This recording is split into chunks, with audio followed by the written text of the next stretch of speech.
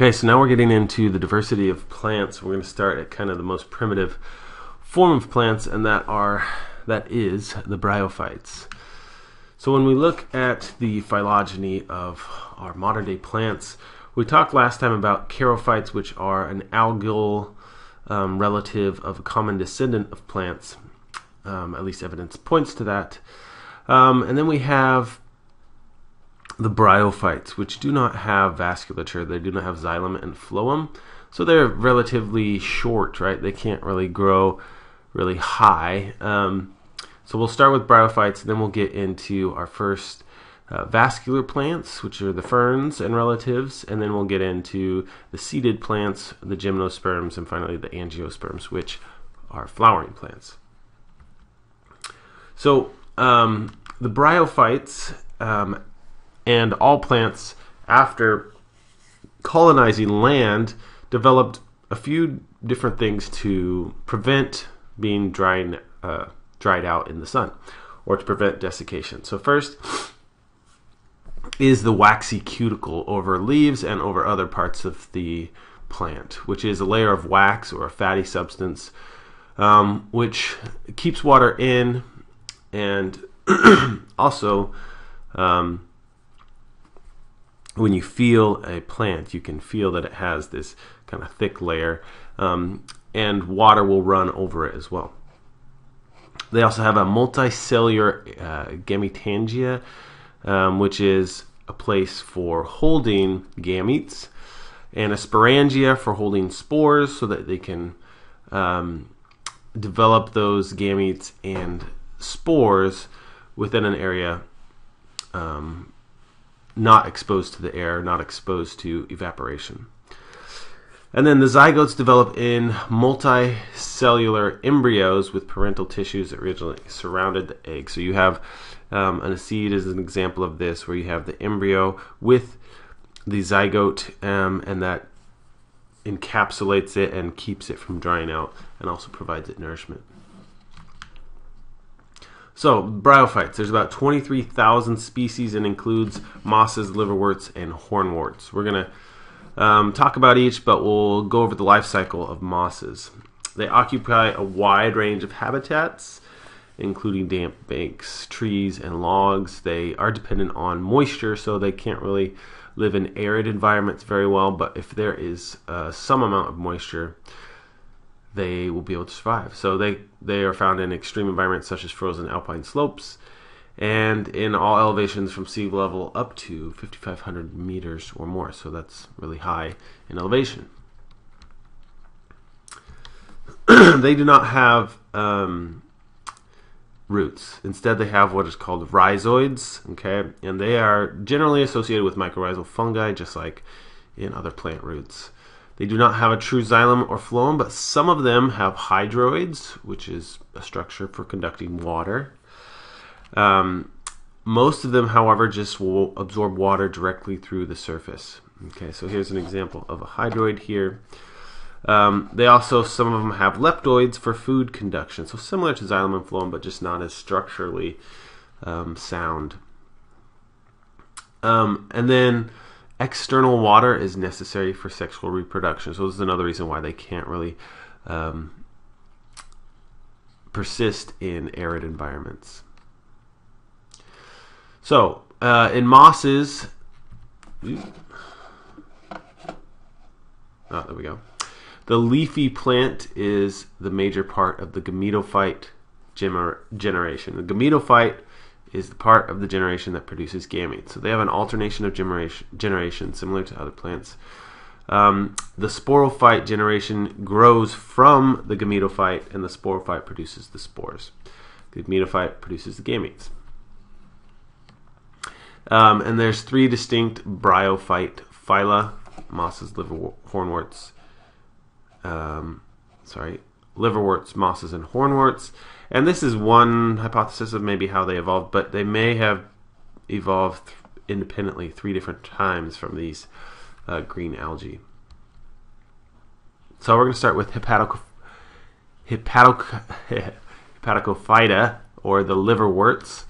Um, and they their structure is they have this flattened lobed thalli, or singular, it's a thallus. Okay, and 20% of liverworts are thalloid. Some of them, 20, 80% are leafy. Um, these thalli or leafy gametophytes develop from spores, and when they germinate, they produce this structure called a protonema. Okay, and protonema is an immature gametophyte consisting of very short filaments. And in thalloid liverworts, growth is prostate and prostrate, and one cell rhizoids on the lower surface anchor the plant. So they don't have much of a root system. You can see it's kind of attaching to the rock here, um, just being anchored right there, and they grow just along the ground. They don't grow vertically, um, and they're kind of peculiar in structure. So here's a life cycle of one of them, but we aren't going to go over that. All right, so thalloid liverworts, the best known species is called uh, are in the genus Marchantia. Um, and the thallus forks. You see all these bro- um, branches of the thallus dichotomously as it grows, and each branch has a notch at the apex and a central groove. Okay, so a notch and central groove down the middle, and its meristemic cells in the notch continue to divide, to divide, so it continues to grow that way. The bottom layer of the thallus is the epidermis, and that's where the rhizoids and scales arise.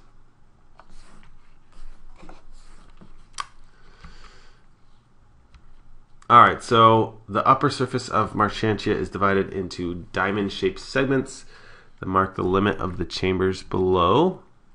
So you see this the diamond-shaped segment. So this is kind of cut in half and looking into it. Each segment has this pore, which opens into the chamber, so allowing for gas exchange. And then it has these short rows of um, cells with chloroplasts in them. Okay, and that's where photosynthesis then takes place.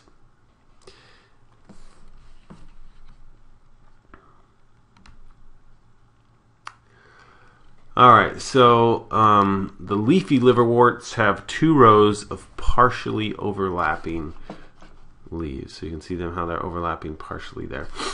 Um, there's no midrib. They often have folds or lobes, and they contain oil bodies where they secrete oils. The third row of underleaves is also often present, and the archegonia and antheridia produce these cup-like structures.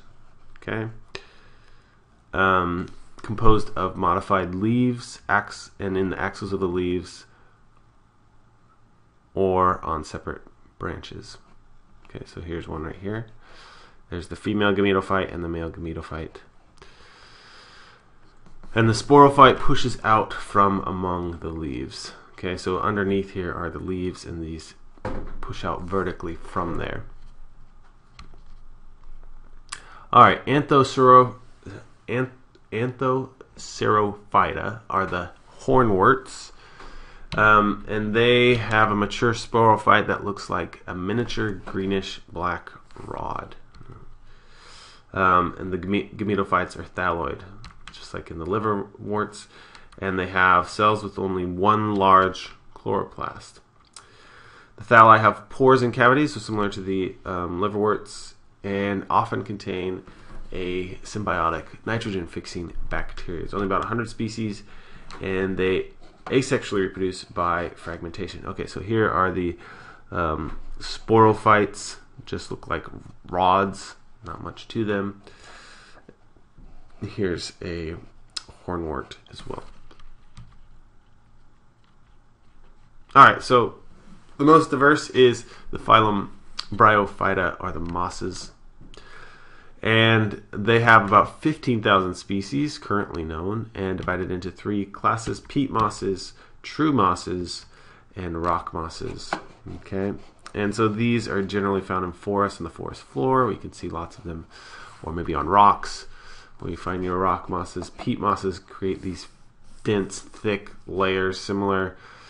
Um, they kind of look like grass on top, but not as um, you know, from a distance, but they don't extend vertically as much as grasses do. All right, so the leaves of the moss gametophytes have blades, nearly always one cell thick, except at the midrib, and they are never lobed or divided. The cells usually contain numerous chloroplasts. You can see that here. These cells have lots of chloroplasts. Peat mosses have large transparent cells without chloroplasts that absorb water and small green photosynthetic san- cells sandwiched between them. So that's what we have Oops, here. So you have these cells that absorb water and then the chloroplast, the cells with chloroplasts between them. Um, the axis is stem-like, does not have a xylem or phloem, and they often have these hydroids in their uh, stem-like structures. All right, they can reproduce uh, sexually. They do it through uh, gametangia at the apices uh, or the tops, the apical uh, leaf shoots. Okay, so here's a gametangia. Here, this is the archegonium, which produces the egg, um, and then which is above this swollen base, and then it has this kind of tube structure for a um, sperm cell to enter in. They also have multicellular filament, filaments called paraphyses um, scattered among the archegonia. Okay, so here's the paraphyses, um, or one of the paraphyses, and they are then surrounding and protecting the archegonium. Okay, the males, uh, or the male structure forms um, antheridia, which is on a very, very short stalk here. Okay, swollen antheridia fills with sperm. Um, the sperm cells each have a pair of flagella, and then they are forced out of the top of the antheridium. And then I also have these paraphyses scattered among them. So what happens is in sexual reproduction, the archegonia release the substance to attract the sperm. The sperm swim down the neck of the archegonium and it fertilizes the egg to form a zygote, which grows into a spindle-shaped em- embryo. Okay, the top of the archegonium splits off and forms a cap on top of the sporophyte called a calyptra. And then the mature sporophyte consists of a capsule, seta, and foot. So the foot is the anchoring part. The seta is like the stalk, the capsule is the top, which has all the spores in it. Meiosis then produces spores inside the capsule, and then the peristome, which is kind of the top of the capsule, has one or two rows of teeth under the operculum at the tip of the capsule, and then that opens up or closes in response to humidity. If it's nice and humid, it will release spores, and then they will develop into filamentous protonema that then produce buds that develop into our gametophytes. Okay, and so this is what it looks like. So we'll go over this in class. You have the protonemas establishing, they produce male gametophytes and female gametophytes. The male gametophytes have the antheridiums on them, which produce sperm. The females have the archegonium on them, which produce eggs and have these long necks. This, they produce the attractant for the sperm. It goes down and fertilizes the egg, and now it becomes a zygote. That zygote develops into a sporophyte. Okay, so this is all a diploid structure, but it's still sitting on top of the gametophyte. Um, the sporophyte, um, the cells within the sporophyte then go through meiosis to create haploid um, spores.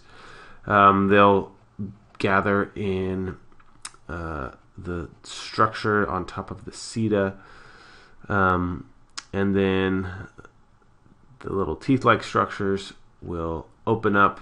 The calypto calyptal cap will fall off. The operculum will open, and then the spores will go out and create protonema. Okay, so there's the full life cycle. All right, so bryophytes are really important for humans. They're a pioneer species. Okay, so They're the only really species that can grow on bare rock, and as they continue to do that over and over and die and then redevelop, they'll create a layer of vegetation which will form um, soil. So important for the formation of soil, so other things can grow on top it, top of it. They're able to accumulate minerals, you know, leach things out of the rocks, which are important for um, growth and can be used by utilized by other organisms.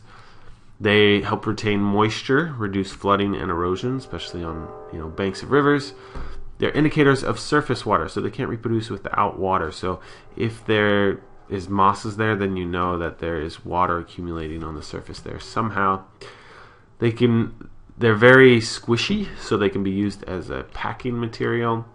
And peat mosses um, have been used for thousands of years for multiple uses. They are a soil conditioner, so they can be mixed in with the soil um, because they're very absorptive.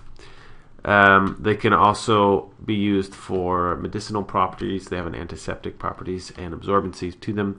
And finally, peat moss can also be dried out and then burnt and used as fuel, similar to wood.